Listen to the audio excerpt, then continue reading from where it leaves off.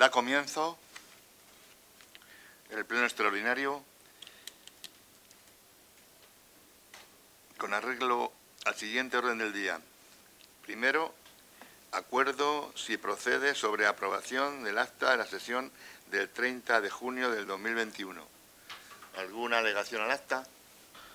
Hemos presentado una alegación al acta.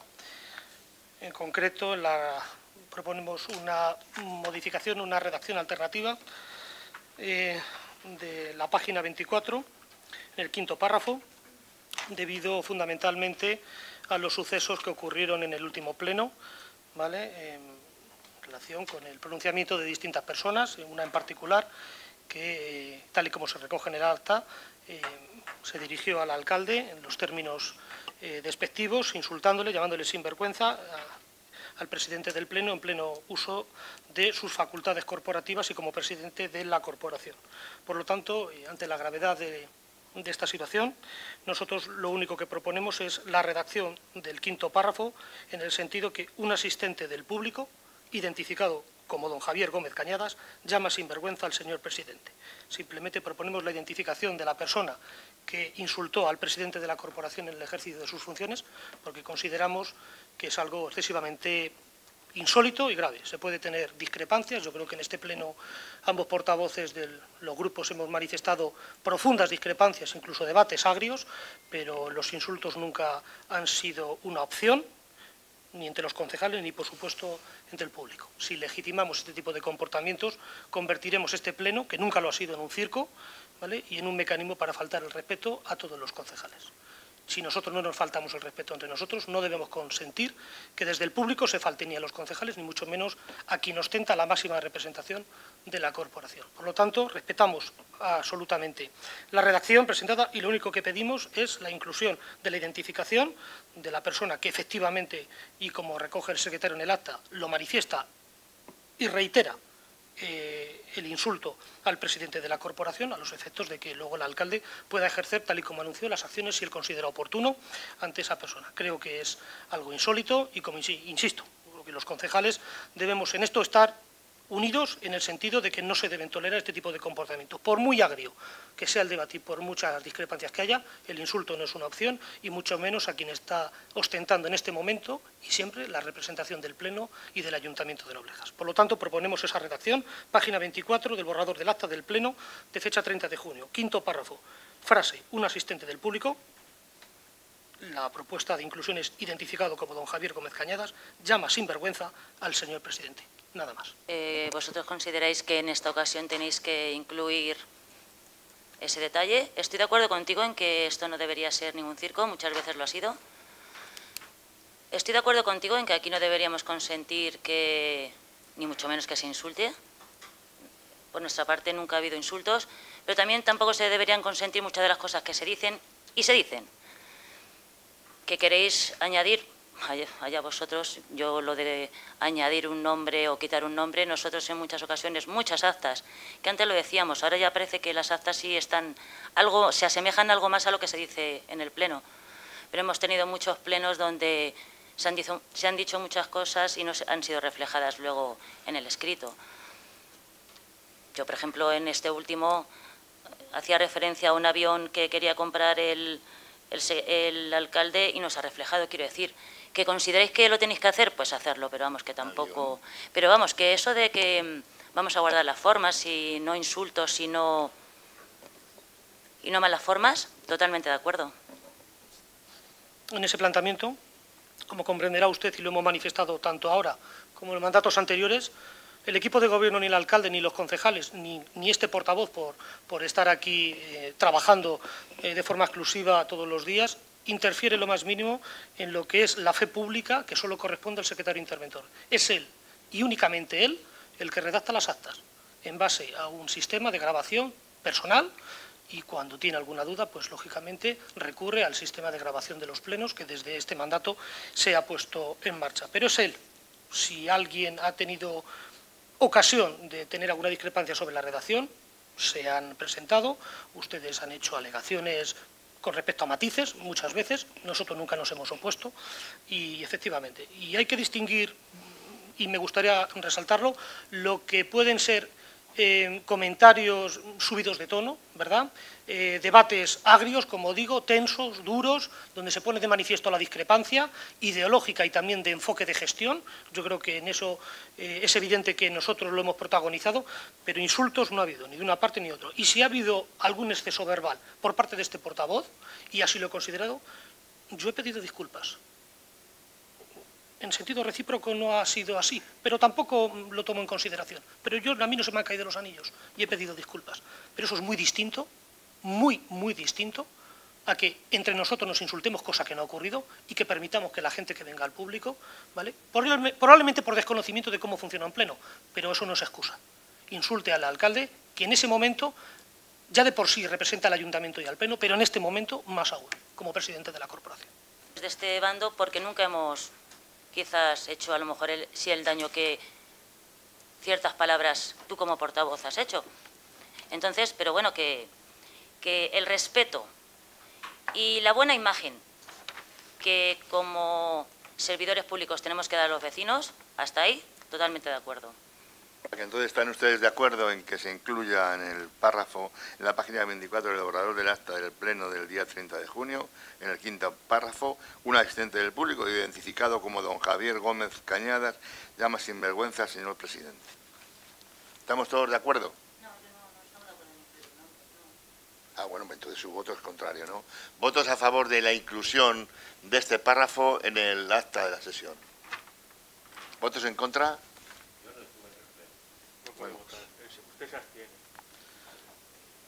Se aprueba con seis votos a favor, tres en contra y una abstención.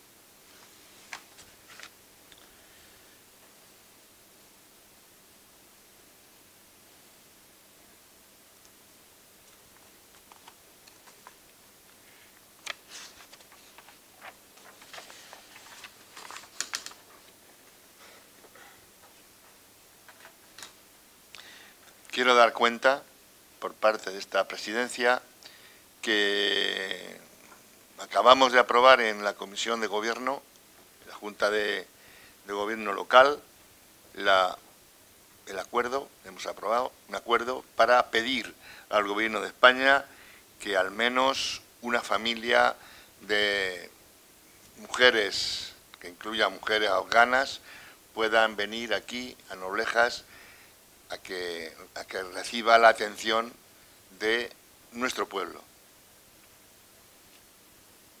Vamos a pasar al punto número dos. Acuerdo si procede sobre la toma de conocimiento de renuncia a su cargo de concejala formulada por doña Ana Isabel Zamorano Díaz Regañón. Este pleno toma conocimiento para su efectividad de la renuncia a su cargo de la concejala formulado por doña Ana Isabel Zamorano Díaz Regañón.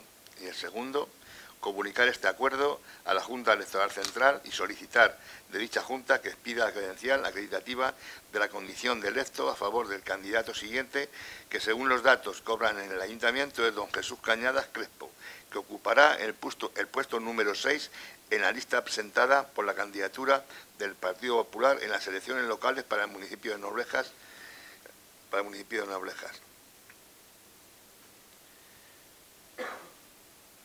¿Se acuerda por unanimidad? Se acuerda entonces por unanimidad.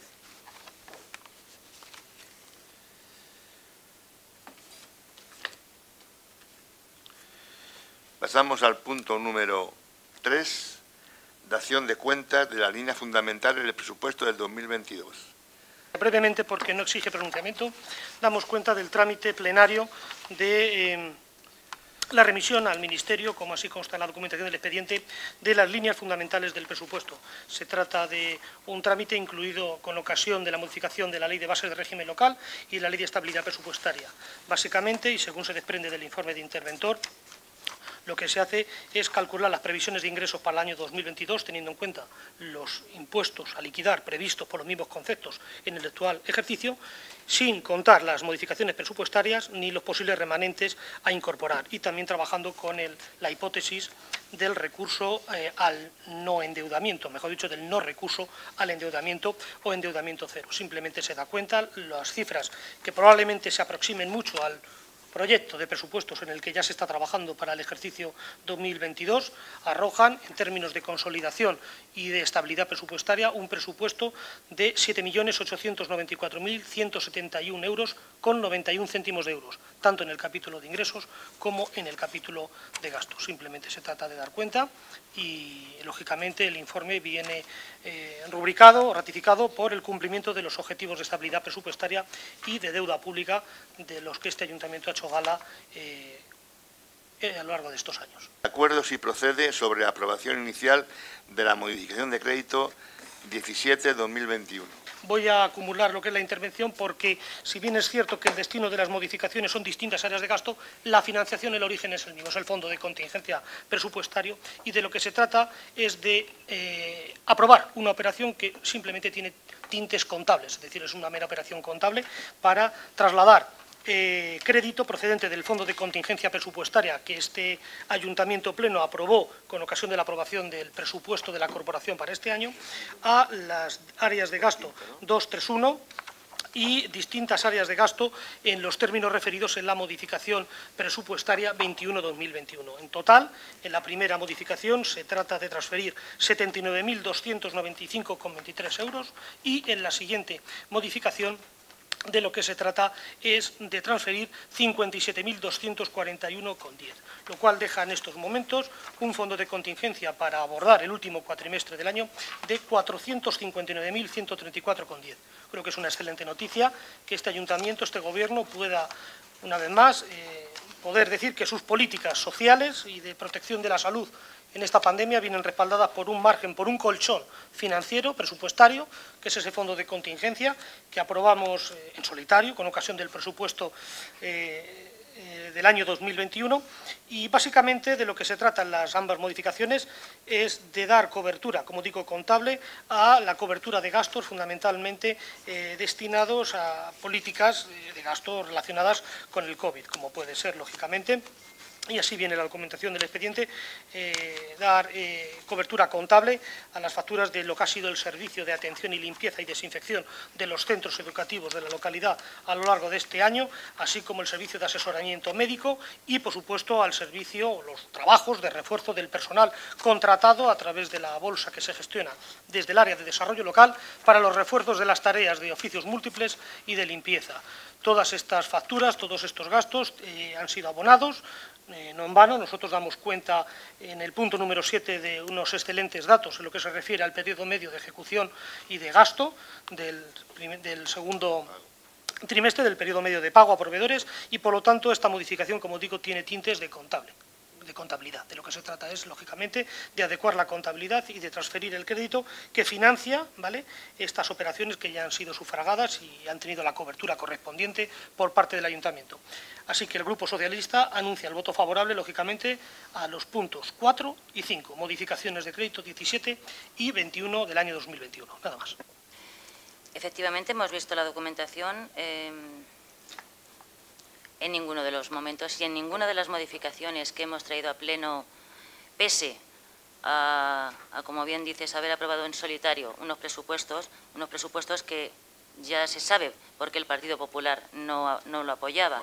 Pero sí vamos a apoyar, porque lo vamos a hacer hasta el final de esta crisis sanitaria, incluso de, de lo acaecido con, con Filomena, todo lo que haya que pagar, y, por supuesto vamos a votar a favor tanto de una como de otra. Si es cierto que, por ejemplo, en, la de los sueldos se incluyen partidas de gente que estaba incluso antes de Filomena y sigue, y seguirán.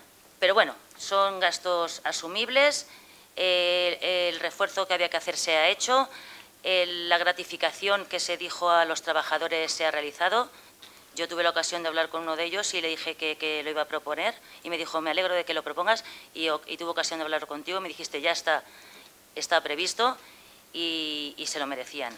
Y vamos a votar a favor, por supuesto. De coherencia con lo que viene siendo una línea de, de posicionamiento político del Grupo Popular, de aprobar y de apoyar las modificaciones presupuestarias con origen en un fondo de contingencia presupuestario que está incluido en un presupuesto que no apoyaron. De acuerdo. Si está claro, no hay ningún problema. Y también le agradezco eh, el, esfuerzo por estar de acuerdo con nosotros y porque haya entendimiento en el hecho de respaldar con su voto favorable todas y cada una de las líneas de trabajo de este ayuntamiento, de este gobierno, en relación con lo que han sido las dos crisis más importantes de la última década en este, en este municipio, y el resto de España, lógicamente, eh, como han sido la pandemia y, la filomena. Y es cierto, de alguna forma lo que viene a decir usted implícitamente es que reconoce que la gestión del ayuntamiento, del equipo de gobierno en este sentido, ha sido positiva y, es cierto, sí, no, no hay ningún problema en, en reconocerlo. Y como lo digo, esto tiene toda toda la justificación contable, porque en realidad todos esos sueldos, como podrá usted comprender, os imaginará, pues, pues, pues, pues, ya están abonados, ¿verdad? Y como son todos esos gastos, ya están pagados a las distintas mercantiles que han colaborado y empresas con el Ayuntamiento de Noleja. Por lo tanto, de lo que se trata en este momento, 17 de agosto, es de dar, por así decirlo, un entiéndase mi expresión, un enjuague contable antes de iniciar lo que es la última parte del ciclo político de este año 2021. Pero evidentemente todos estos gastos ya están abonados, el ayuntamiento a día de hoy, y como se verá a continuación, tiene un periodo medio de pago a proveedores excepcional, lo cual es posible gracias a la excelente gestión financiera que se está haciendo por parte del equipo de gobierno y a través de los servicios técnicos de la administración, que personifico también en la persona del interventor. Y bien, le agradezco lógicamente este esfuerzo de entendimiento en los términos que, me he referido. Sí. Agrupar el punto cuarto y el quinto, ¿no? Votos a favor, se entiende entonces aprobados por unanimidad.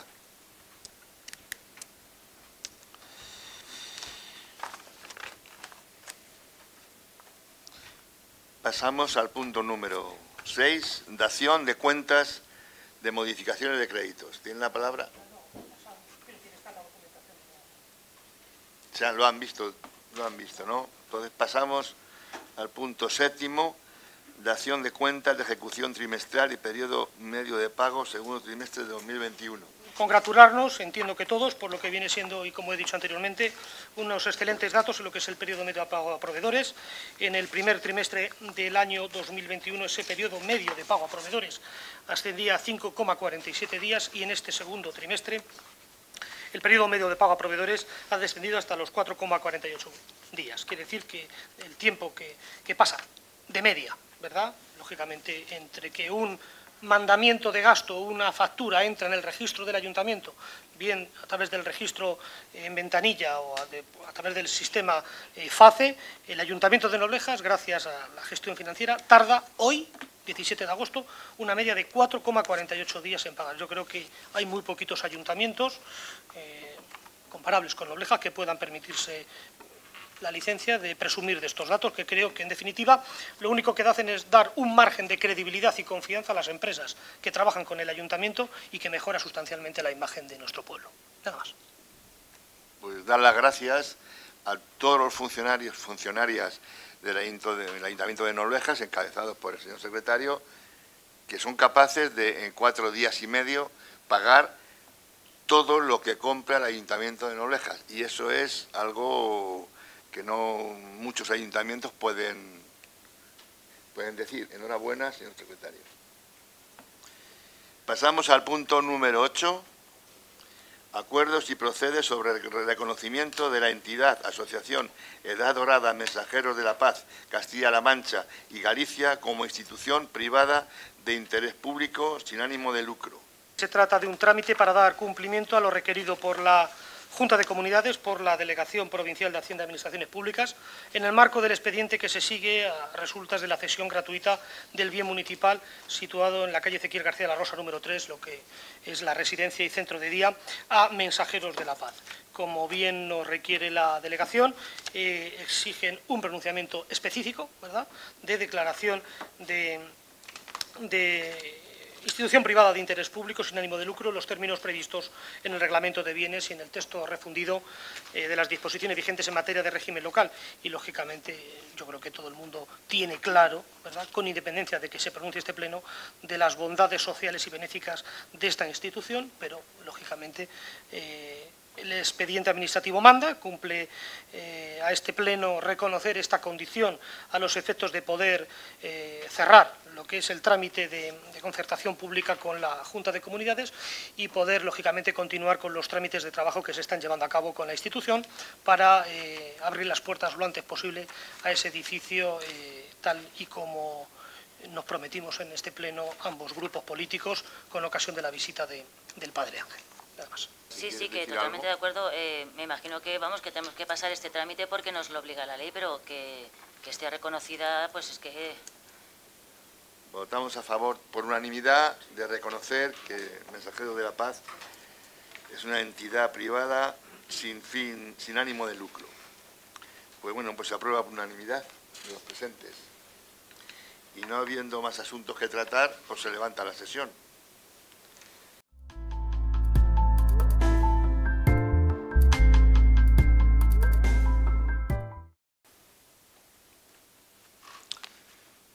Tardes. Va a celebrarse la sesión eh, urgente de pleno y para ello, como así lo dice la, la legislación vigente, primero hay que tomar un acuerdo, el acuerdo, el pleno tomará un acuerdo sobre la ratificación de la urgencia de la sesión. La necesidad de dar eh, cumplida contestación en tiempo y forma a los escritos presentados, eh, solicitud de ampliación y suspensión dentro del plazo que la ley establece para la presentación de alegaciones a las ordenanzas que están ahora mismo tramitándose en periodo de exposición pública. Consideramos justificada la urgencia en los términos en los que el secretario ha apuntalado esta argumentación. Así que votaremos a favor. Pues nosotros en esta ocasión vamos a votar en contra porque no consideramos que sea urgente, porque una de ellas en concreto podría haberse presentado en el orden del día del pleno que acabamos de terminar. Entonces no entiendo tanta urgencia. ¿Votos en contra? No, usted ya no, no, no, no sé, es que ya no es concejala, entonces no puede votar. Acuerdo si procede, punto número dos, acuerdo si procede sobre la resolución de la petición de la Sociedad de Cazadores Albergel instando a la suspensión, ampliación del plazo de, presentación de alegaciones contra el acuerdo del Pleno del día 30 de junio del 2021 relativo a la aprobación inicial de la modificación de la Ordenanza General Reguladora de la prestación del servicio de disfrute cinegético de los cotos de caza privados de titularidad municipal. La proposición la voy a leer. Dada cuenta de la petición suscrita en fecha 6 de agosto del 2021 por la entidad Sociedad de Cazadores El Vergel, instando del excelentísimo Ayuntamiento de Nobleja la concesión de suspensión barra ampliación del plazo de presentación de alegaciones contra acuerdo del Pleno de fecha 30 de junio del 2021 relativo a la aprobación inicial de la modificación de la ordenanza reguladora de la prestación del servicio de disfrute de los cotos de caza privados de titularidad de Noblejas, visto el informe jurídico obrante en el expediente, se propone al Pleno de la Corporación la adopción del siguiente acuerdo. Primero, desestimar la petición suscrita en fecha 6 de agosto del 2021 por la entidad Sociedad de Cazadores El Vergel, relativo a la concesión de suspensión barra ampliación del plazo de presentación de alegaciones contra el acuerdo del Pleno del 30 de junio de 2021 relativo a la aprobación inicial de la modificación de la ordenanza reguladora de la prestación del servicio de disfrute de los cotos de caza privados de titularidad eh, de Noblejas.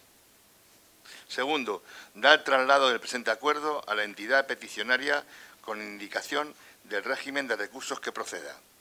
Como el contenido de este pleno es de carácter jurídico y quien insta a la convocatoria y a la celebración es el secretario, tras advertir a la presidencia de los pormenores eh, jurídicos eh, que se contienen en su informe, si me lo permite el alcalde, voy a relatar para que conste en acta, aunque el informe eh, entiendo que formará parte de, como adjunto a la misma, de las consideraciones que el secretario pone de manifiesto. En ambas peticiones, la Sociedad de Cazadores El Vergel insta al Ayuntamiento a que proceda a suspender o ampliar, en su caso, el plazo de exposición pública de los acuerdos que se adoptaron en el 30 de junio. Invocan una presunta indefensión derivada de una entrega incompleta de la documentación y el secretario considera que tal afirmación ha de ser rechazada. Tanto los miembros de la directiva de la sociedad peticionaria en sede de exposición pública de ambos proyectos, como los propios miembros de la corporación durante el periodo de consulta de la documentación, fuimos plenamente conocedores del contenido. No se puede amparar en la ausencia de documentos que no formaban parte del expediente que fue elevado al Pleno para pretender una suspensión o ampliación del plazo. Fue esa y no otra la documentación objeto de debate y de aprobación. Peticiones relativas a distintas modificaciones de las ordenanzas, plan técnico de ordenación cinegética, la planimetría y otras, resultan plenamente lícitas, pero no en este procedimiento, que es el que se está tramitando. No es objeto de este análisis, dado que no formaban parte del expediente administrativo. Luego no se puede facilitar lo que no formaba parte del expediente, y mucho menos alegar indefensión por ello. El Ayuntamiento ha cumplido escrupulosamente hasta la fecha con los plazos y protocolos de exposición pública, tanto en sede electrónica como en el Boletín Oficial de la provincia. Hay que tener en cuenta de que se expusieron los acuerdos el día 9 y no se personaron hasta el 23. Luego esa diferencia no puede ser motivo para luego exigir al ayuntamiento el cumplimiento de los plazos, cuando dos semanas después de su exposición se presentan a solicitar los escritos. Cabe recalcar aquí que los acuerdos objeto de la controversia fueron adoptados en fecha 30 de junio, estando presentes los miembros de la Junta de la Sociedad Peticionaria en el Pleno, conocedores, por tanto, de la activación del procedimiento y de la publicación de los mismos, y, como dice el secretario en su informe, a pesar de ser publicados en el Boletín Oficial de la Provincia en fecha 9 de julio, no fue hasta el 23 cuando se solicitó formalmente una copia de los expedientes. Por lo tanto, la única demora imputable es la del retraso en solicitar la documentación. Y eso fue precisamente lo que se entregó el 6 de agosto, la documentación que integraba en los expedientes, no otra ajena al procedimiento, como posteriormente parece requerirse. En conclusión, no solo no se ha generado indefensión, sino que la misma ha tenido la real oportunidad de conocer y formular las alegaciones que ha tenido por, conveniente en todo momento y que este Pleno resolverá una vez finalice el periodo de exposición pública.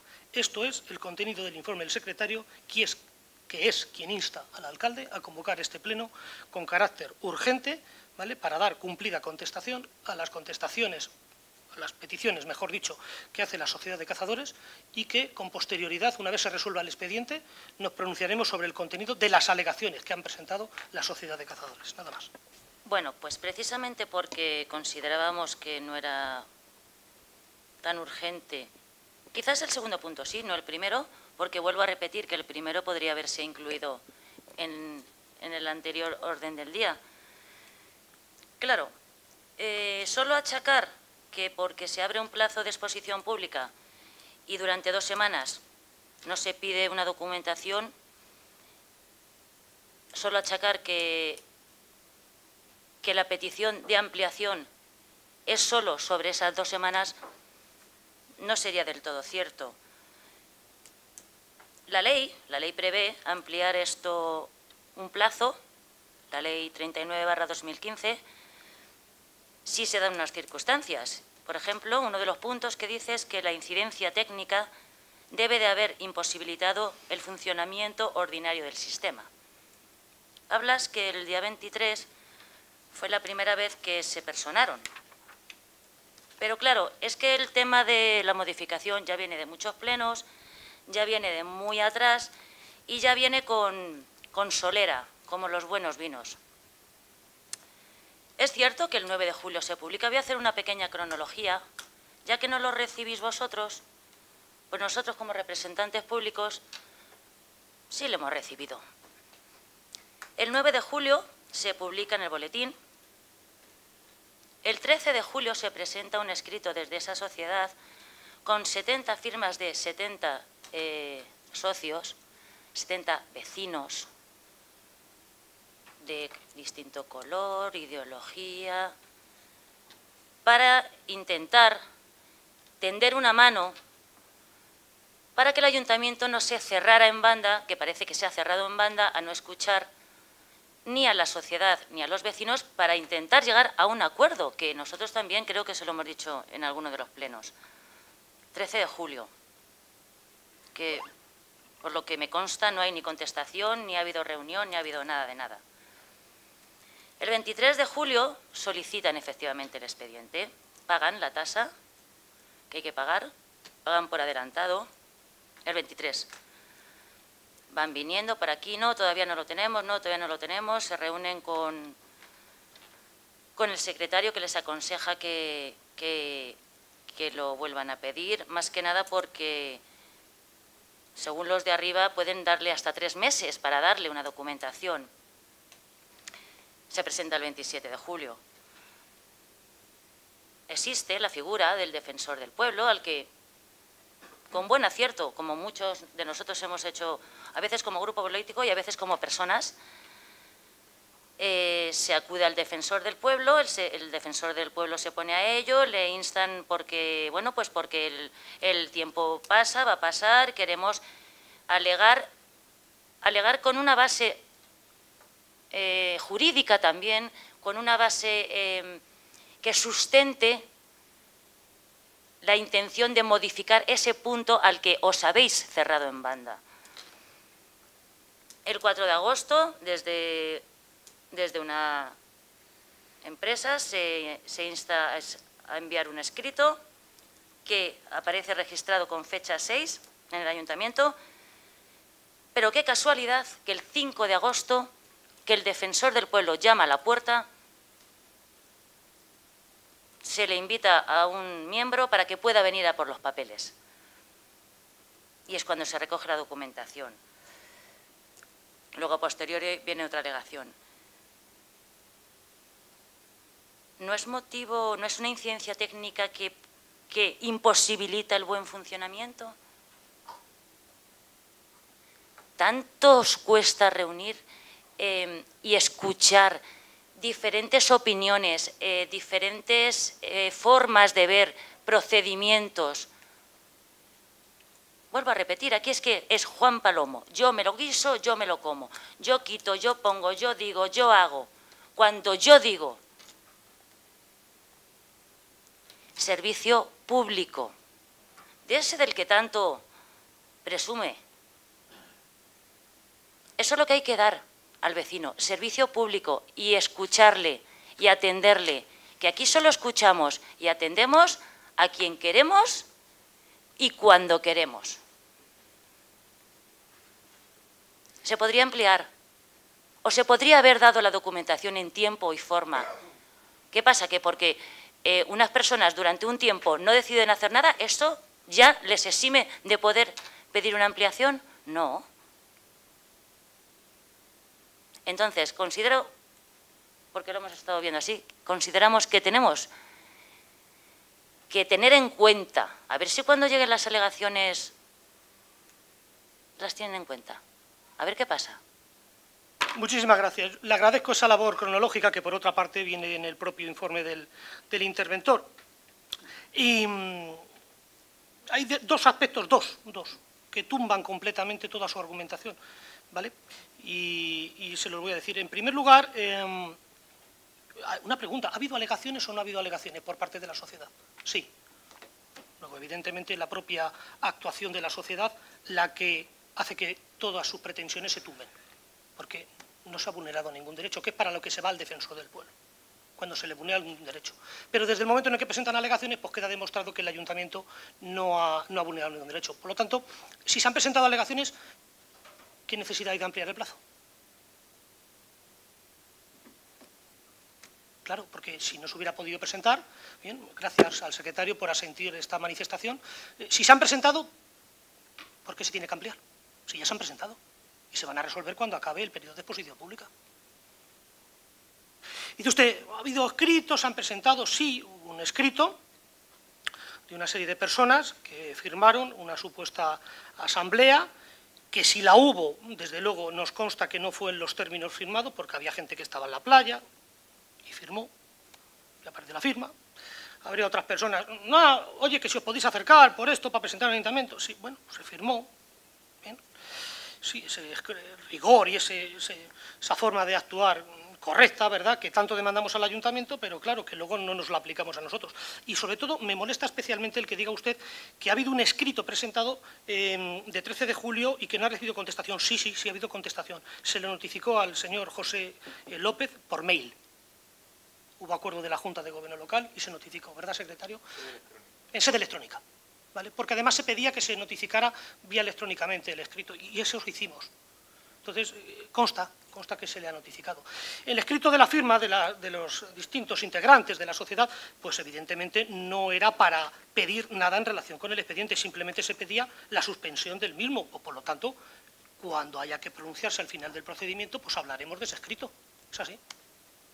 Y por lo tanto, sí hubo una contestación. Hubo una contestación al escrito del 13 de julio por correo electrónico. Si el destinatario de esta contestación no lo ha visto, no lo ha leído, no ha sabido descargárselo, no, ha tenido la posibilidad, pues quiere decir, eso no es algo imputable al ayuntamiento. Pero, insisto, esto, estos son detalles, detalles de su argumentación. Lo importante es que ha habido alegaciones y que se resolverán cuando finalice el periodo. Entonces, si ha habido alegaciones, ¿por qué se tiene que pronunciar el Pleno sobre una ampliación?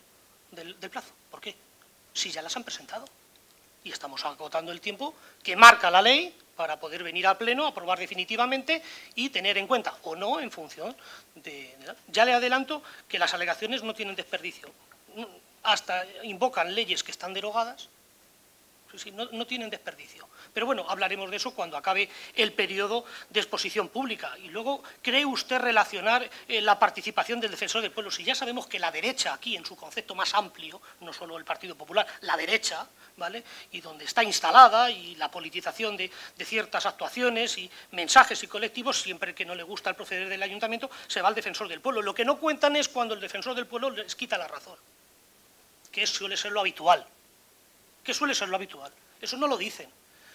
Y evidentemente pues el, secretario contestó al defensor del pueblo en sentido bastante parecido a lo que está siendo los informes eh, comunicados a los peticionarios, bastante, bastante Por lo tanto, uno va al defensor del pueblo a alegar indefensión, vulneración de derechos fundamentales. Pero si, claro, presentas alegaciones y estás pidiendo un plazo porque se te está vulnerando el derecho para no presentarlas, pero si ya las has presentado, si tu actuación echa por tierra esa petición de indefensión simplemente estamos agotando el tiempo para que cuando se acabe el periodo de exposición pública venir a pleno a hablar sobre esas alegaciones, pronunciarnos sobre las mismas y aprobar o no definitivamente las ordenanzas. Pero alegaciones ha habido. Entonces no cabe hablar de, ampliación de plazos si ya se han presentado las alegaciones. ¿Cómo se puede alegar vulneración de derechos, falta de rigor cuando, cuando se han presentado las alegaciones? Se han presentado las alegaciones. Si ellos tardaron dos semanas en venir a pedir la documentación, es decir, no les, impide ni les legitima, pero hombre, es curioso que si el ayuntamiento, desde que presentan el escrito el 23, tarda dos semanas, oye, mira que esto se publicó el día 9, y el escrito se presenta tal, que hubo un escrito de los, de los cazadores, es verdad, en los términos en los que he referido, pero también hubo otro del 13 de julio que fue contestado por el secretario en el correo electrónico, porque hubo acuerdo de Junta de Gobierno Local. Entonces, todas esas, todas esas manifestaciones, discutir entre nosotros sobre ellas no tiene mucho sentido, porque toda esa documentación a la que yo me estoy refiriendo, todos esos íter, todas esas circunstancias temporales, eh, ya han sido comunicadas al defensor del pueblo también. Entonces, pues bueno, pues cuando venga la contestación, pues eh, lo dicho, a ver si tenemos el suficiente encaje para aceptar el pronunciamiento, ¿verdad? Pero vamos, me resulta muy difícil creer que una institución tan garantista como el Defensor del Pueblo aprecie eh, vulneración de derechos e indefensión cuando el peticionario ha podido presentar en tiempo y forma las alegaciones. A mí me cuesta creerlo, ¿eh? usted es funcionaria, hay algún funcionario por ahí también que, en fin, que parece que entiende mucho estas cosas, pero yo creo que el tema es muy claro.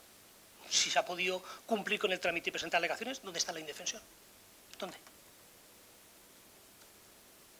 Entonces, no, tiene mucho sentido seguir enredándolo porque además, eh, pues, insisto, las alegaciones se están estudiando, se van a informar, se van a resolver y vendremos a plena pronunciarnos de ellas y de la petición, lógicamente, de suspensión. Pero entenderá que es contradictorio que la asamblea de la sociedad de cazadores, supuestamente todos los firmantes presenten un escrito para solicitar que se tumbe el procedimiento y a renglón seguido sus representantes, que son la Junta Directiva, presenten alegaciones a las ordenanzas. ¿En qué quedamos? ¿En que lo suspendemos? ¿En que presentamos alegaciones para que se presenten? Claro, es que hay actuaciones contradictorias que, claro, jurídicamente, pues eso pues no tiene mucho encaje. Y el secretario lo ha visto con buen tino y ha dicho, vamos a pronunciarnos, vamos a suspender, porque no tiene ningún sentido. Y cuando finalice el plazo, pues vendremos a hablar de lo divino y de lo humano. Como siempre se ha hecho cuando se ha tramitado modificaciones de ordenanzas. Siempre se ha actuado de la misma manera. Siempre. Por lo tanto, no, tiene ningún sentido este enfrentamiento eh, a cuenta de una supuesta vulneración de derechos fundamentales que no tiene ningún, no tiene ningún sentido, porque además las alegaciones se han presentado se informarán, tendremos a pleno y, hablaremos. Así que nuestro sentido del voto no puede ser sino suscribirnos, agregarnos todas y cada una de las manifestaciones del secretario en su informe y agradecer eh, que algunas de las manifestaciones, la mayoría de ellas que yo he manifestado, pues que no se aprecia en el vídeo, pues él las ha ratificado porque efectivamente es quien interpreta la ley dentro del ayuntamiento, ni siquiera el equipo de gobierno. ¿Qué, eso de supuesta reunión, supuestas firmas? Mira que no, hemos dicho antes de, que aquí veníamos a defender los intereses de los vecinos y dejar ya caer las mierdecillas como siempre, ¿no? A ver si, igual que pides para el público un respeto, manténle tú también para los vecinos. Porque no hubo una supuesta, hubo una, hubo una reunión en un parque, que la posada no podía ser ahora que no venga algo muy urgente, que la posada se abra a quien se tenga que abrir. Había unos instrumentos, sí, efectivamente. No se podían haber reunido abajo. Yo he estado en alguna reunión de varias cosas que estaba lo de arriba tapado porque estaban instrumentos y estábamos reunidos abajo. Nadie toca instrumentos. Hubo una reunión. Yo desde luego no, desde que encabezo como portavoz y represento a este grupo, a mí el defensor del pueblo no me ha quitado nunca la razón.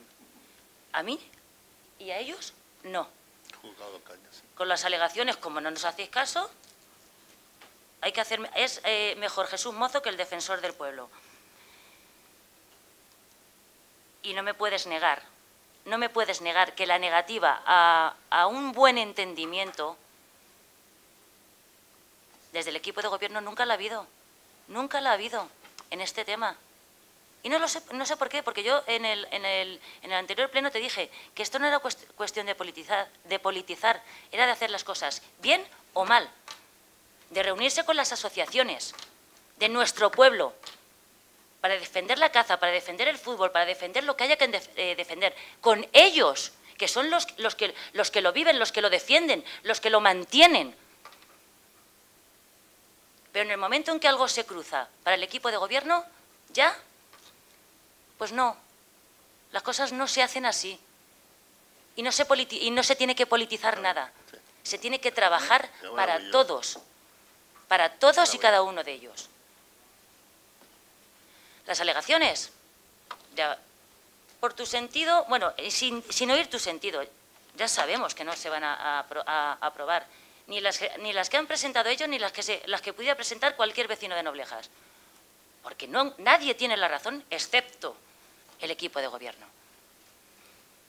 Allá vosotros. Nosotros consideramos que, que no se han hecho las cosas bien, lo volvemos a decir y estamos aquí para escuchar a todos. Pero ¿cómo puede comparar usted el que yo en mi intervención como portavoz deje caer ciertas afirmaciones que por otra parte son verdad, con el hecho de que alguien que venga al público insulte al alcalde presidente. Pero, pero ¿cómo puede usted hacer esa comparación? Pero, pero ¿qué clase de cinismo es ese de que yo suelte un chascarrillo? Porque además es verdad, llamo a un asistente, a un firmante, y le digo, oye, digo, a vosotros os han explicado, y dice, ah, Ángel, si yo no estuve, yo estaba en la playa, y yo, a mí me llamaron, y bueno, pues que alguien firme por mí. Yo no me estoy inventando nada. Es así, entonces, con nombres y apellidos.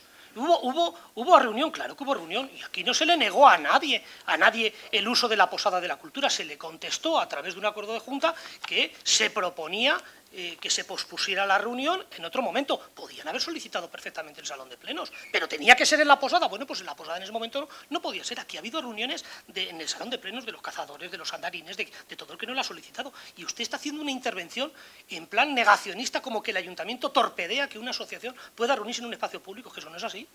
Es que eso no es verdad. Y se les comunicó de que podían posponerlo, podía haber solicitado cualquier otro espacio público y no hubiera habido ningún problema. Ninguno, porque además eh, es así. Pero, pero ¿cómo me va a decir usted a mí que se les está negando la posibilidad de hablar? Yo no, me reuní, yo no he rehuido nunca el debate, ni con usted, ni ninguna conversación con ninguna sociedad, con ninguna, ni con ninguna asociación. Ninguna asociación, ni lo tengo reconocido además verbalmente por parte del presidente de la Sociedad de Cazadores. Y yo represento al gobierno. y represento al Ayuntamiento de Noblejas en mi día a día. Y hace usted una interpretación y un, silogismo que no es correcto. Es decir, ustedes están en posesión de la verdad absoluta. No, no, no, no, no, no, no. Es decir, eso no es verdad. Aquí ustedes han presentado alegaciones, en ocasiones, a determinados asuntos que se han tramitado, y nosotros, cuando hemos considerado que llevaban razón, las hemos estimado. Sí, una ordenanza fiscal en el tema del ICIO, en el tema del urbanismo, con ocasión de una aportación que en su momento hizo Pilar Amores. Por favor, absténgase de, de, que, se le ha escuchado a usted con mucho respeto. Sí, sí, claro, no así, no, es, así. Es así, sí, y yo no me hago el digno ni el ofendido porque usted se ría de mi intervención. ¿Vale? Y tampoco espero que se pida disculpas, ¿vale? Eh, entonces... Cállese, por favor, usted lleva todo el tiempo sin parar. Señor Escudero, sí, usted no haga así, no se haga el ofendido, sí. No, no, no, pero es que no, no para usted, ¿vale?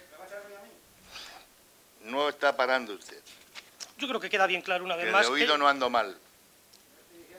De vista no sé, pero de oído no ando mal. Queda una vez más eh, claro y patente que la tolerancia en lo que se refiere al comportamiento de los distintos grupos no es lo mismo, ¿verdad? Y no, no, yo no, ni le he faltado a usted el respeto, ni he faltado el respeto a los miembros de la sociedad que se encuentran en el público por haber hecho una manifestación que a mí se me ha transmitido y a otros compañeros también. Es así de claro.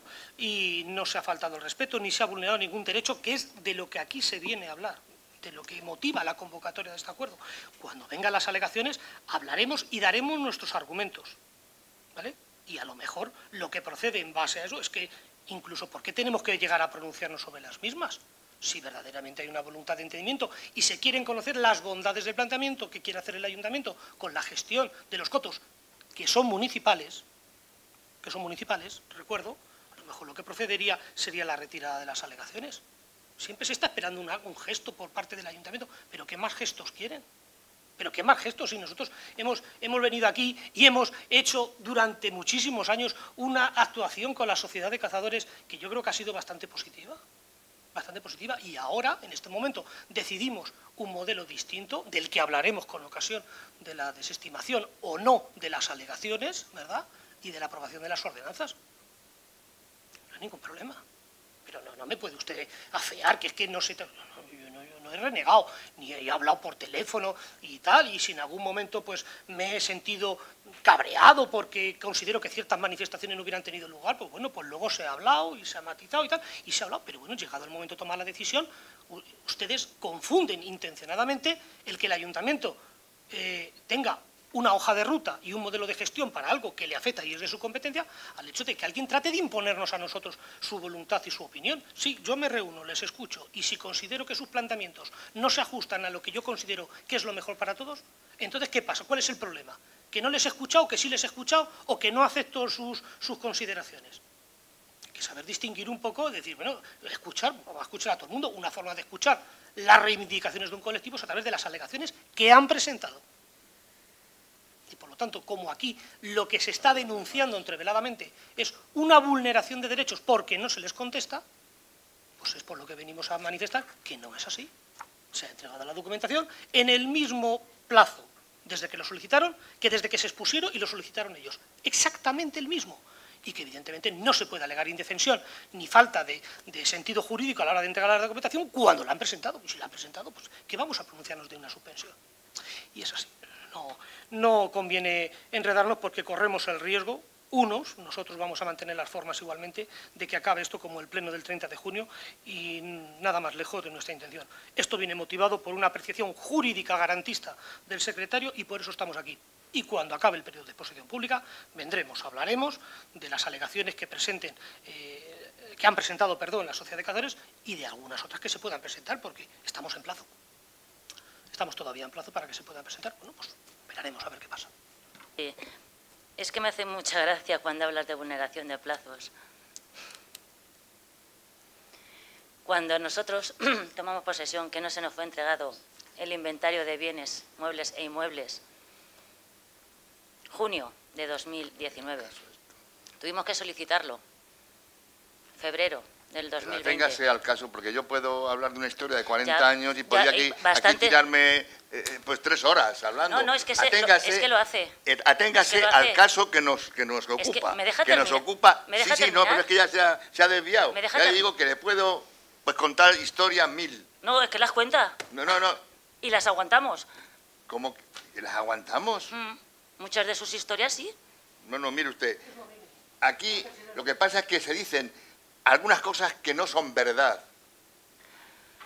Bueno, a ver Y si la me historia es la historia. Termi- ¿Quiere terminar? Voy a terminar. Sí, sí, pero a ver si termina ya. Bueno, pues que el 16 de marzo, de febrero, tuve que pedirlo y claro, la ley sí lo obliga a usted a contestarme. Sí, sí, tienes derecho a ello. Pero ya te lo daré, no antes del 1 de diciembre. Y tengo que presentarme en diciembre y ni que estuviera hecho. Y rogar a que me lo dieran. Vulneración de plazos. Qué risa que me da. Mm, pareciera, por palabras que escucho, que la sociedad de cazadores ha gestionado bien los cotos municipales. Y eso no es verdad. Y eso no es verdad. Perdone que estoy interviniendo yo. Eso no es verdad. O es gestionar bien los cotos municipales y la naturaleza. Y lo, y- y lo digo con las cifras que dan los mismos, la misma sociedad de cazadores. Matar, masacrar a más de 300, a más de 300 zorros.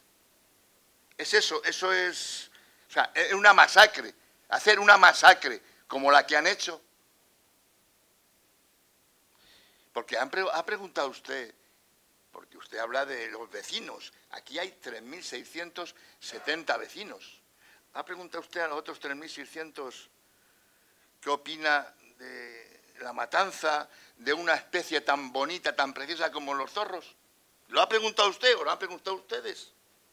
¿Han preguntado ustedes a los propietarios de fincas, que son más de 700, más de 700, que están sufriendo un año sí y otro también, los daños que hacen a su propiedad y a sus frutos? Y se les pregunta si prefieren zorros o conejos. Ustedes saben que los zorros no se comen los olivos, jóvenes ni las viñas, los conejos sí.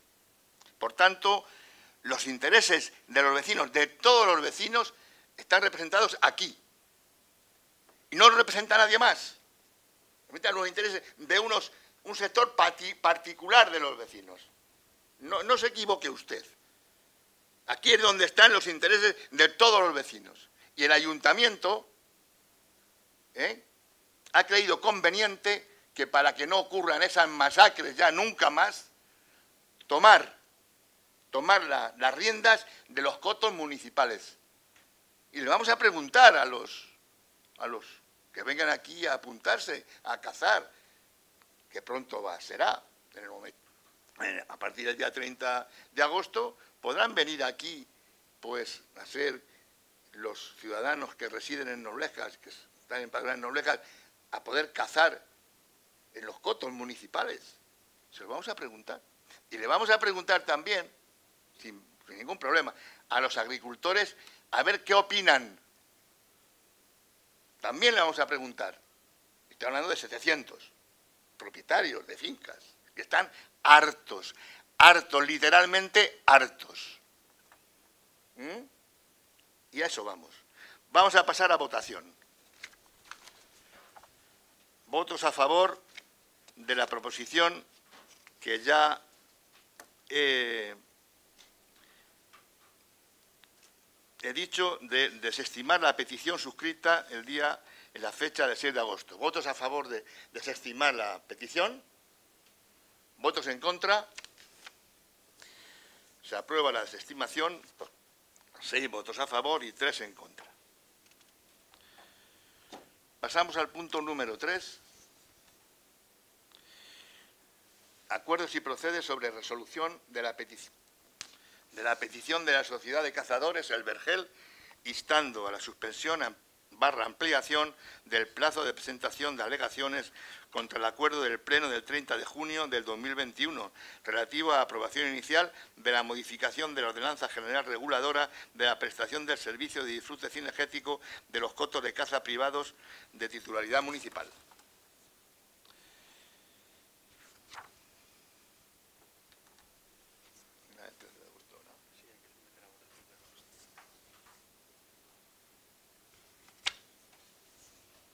No, pero ¿cuál es esta? Sí, la otra, el 13 de agosto. Voy a leer la proposición. Dada cuenta de la petición suscrita en fecha 13 de agosto de 2021 por la Sociedad de Cazadores El Vergel, instando del excelentísimo Ayuntamiento de Nobleja la concesión de suspensión barra ampliación del plazo de presentación de alegaciones contra el acuerdo del Pleno de fecha 30 de junio de 2021 relativo a la aprobación inicial de la modificación de la ordenanza reguladora de la prestación del servicio de disfrute de los cotos de caza privados de titularidad de Noblejas, visto el informe jurídico obrante en el expediente, se propone al Pleno de la Corporación la adopción del siguiente acuerdo. Primero, desestimar la petición suscrita en fecha 13 de agosto del 2021 por la entidad Sociedad de Cazadores El Vergel relativo a la concesión de suspensión barra ampliación del plazo de presentación de alegaciones contra el acuerdo del Pleno del día 30 de junio de 2021 relativo a la aprobación inicial de la modificación de la ordenanza reguladora de la prestación del servicio de disfrute de los cotos de caza privados de titularidad municipal. Segundo, dar traslado del presente acuerdo a la entidad peticionaria con indicación del régimen de recursos que proceda. y manifestar el sentido del voto idéntico al del primer acuerdo y en coherencia con el informe del secretario y la propuesta emitida. Más de lo mismo, voto en contra. Tema de discusión, pasamos a la votación. ¿Votos a favor de la desestimación? ¿Votos en contra? Se aprueba la desestimación por seis votos a favor y tres en contra. No habiendo más asuntos que tratar, se levanta la sesión.